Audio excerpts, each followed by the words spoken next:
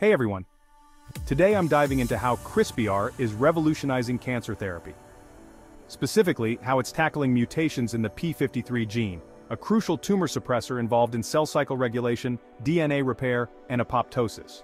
First up, let's talk about precise gene editing. With CRISPR-Cas9 we can target and correct specific mutations in the p53 gene. By designing a guide RNA, or gRNA that locks onto the mutated DNA sequence, Cas9 can cut precisely at that spot. As the cell repairs the cut, we can introduce a normal p53 gene fragment, allowing the cell to replace the faulty gene with a healthy one. Next, there's gene replacement. Here, CRISPR-Cas9 removes the mutated p53 gene entirely. Then, we insert a normal p53 gene. This method holds promise for cancers where p53 mutations are the primary culprit, potentially boosting treatment effectiveness. Now, let's explore gene expression regulation.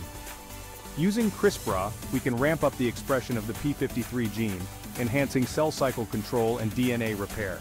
Conversely, CRISPR can dial down the expression of a malfunctioning p53 gene, helping restore normal cell functions. CRISPR also shines in immune cell modification. By engineering CAR T cells with CRISPR, these cells can better recognize and attack cancer cells with p53 mutations, this targeted approach could inhibit cancer progression more effectively. In animal model research, CRISPR helps us create precise p53 mutation models. These models are invaluable for studying cancer development and testing new treatments, paving the way for clinical trials and practical data on p53 mutation therapies. In conclusion, CRISPR technology is transforming cancer treatment by offering precise, efficient ways to address p53 gene mutations, while there's still much research needed for clinical application, the future of CRISPR-based therapies looks incredibly promising. Thanks for watching. Don't forget to like and subscribe for more cutting-edge medical insights. See you next time.